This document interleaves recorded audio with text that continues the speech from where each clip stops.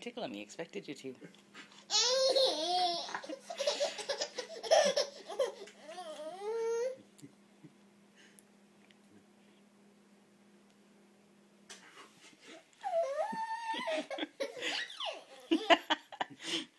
hey, John.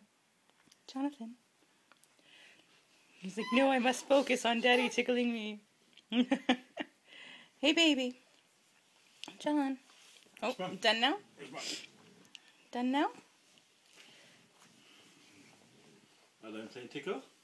Okay.